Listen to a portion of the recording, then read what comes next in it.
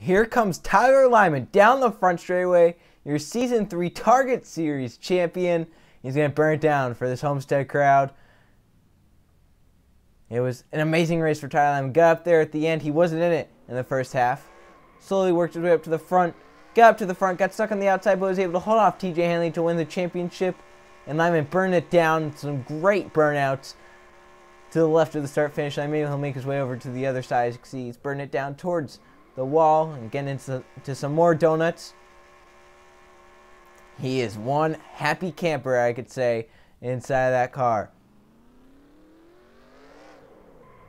Ooh.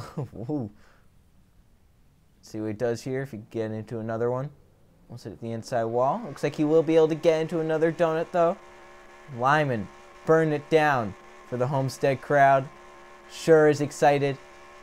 He watched Jake West win the ARCA Series Championship. He watched Trey Rainey win the tr Truck Series Championship. Now he's, he's a champion of his own in the Target Series.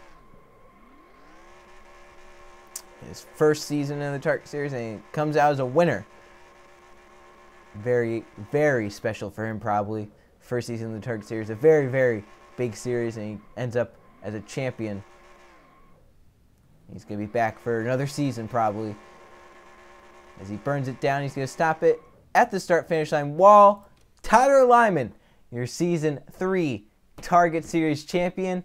Thank you all for making it such a great, great season. I'll be back for more seasons in the future. There's a lot more to come with this channel. In fact, a lot of special things coming up. And uh, congratulations, Tyler Lyman, Season 3 champion. Congratulations to the Final Four for making it that far to have a chance at Homestead. It's very, very interesting. The first uh, season for this knockout format. I'll see you guys tomorrow for the Gatorade Cup Series race where we crown a Gatorade Cup Series champion. A lot of drivers have a chance in the Chase Championship, and I believe three have a, cha- a chance in the uh, full season championship. So I'll see you guys then. Take care. Until then, have a good day.